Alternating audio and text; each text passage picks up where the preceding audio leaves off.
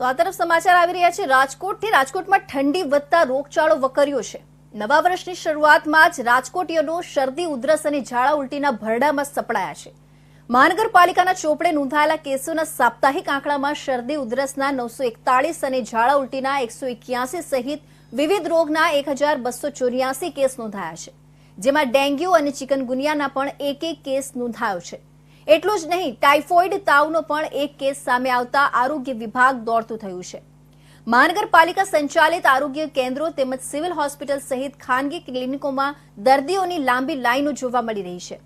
જાહેર થયેલા આ આંકડા સરકારી હોસ્પિટલ અને મહાનગરપાલિકાના આરોગ્ય કેન્દ્રો ખાતેના છે.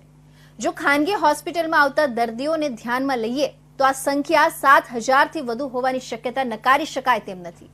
આરોગ્ય અધિકારી ડોક્ટર જયેશ વાકાણીના જણાવ્યા મુજબ મહાનગરપાલિકાના ચોપડે વિવિધ રોગોના એક હજાર બસો ચોર્યાસી કેસ નોંધાયા છે, જેમાં શરદી, ઉધરસના સૌથી વધુ નવસો એકતાળીસ કેસ, ઝાડા ઉલટીના એકસો એક્યાસી કેસ નોંધાયા છે. સામાન્ય તાવના અગાઉના એકસો ઓગણસાઠ કેસ નોંધાયા છે. જ્યારે મચ્છરજન્ય રોગચાળામાં ડેન્ગ્યુના એક અને ચિકનગુનિયાના એક એક કેસ સામે આવતા નવા વર્ષમાં ડેન્ગ્યુના છ કેસ અને ચિકનગુનિયાના કુલ પાંચ કેસ થયા છે. જ્યારે લાંબા સમય બાદ ટાઇફોઇડ તાવનો પણ એક કેસ સામે આવ્યો છે. આ ઉપરાંત હાલમાં સૂકી ઉધરસના કેસોમાં ખાસો વધારો જોવા મળી રહ્યો છે.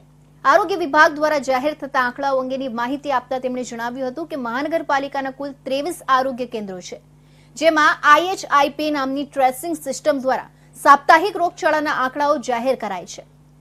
જેમાં મોટાભાગે પાણીજન્ય અને મચ્છરજન્ય રોગ સામે વેક્સિન પ્રિવેન્ટેબલ ડિસીઝનું ટ્રેસિંગ કરવામાં આવે છે.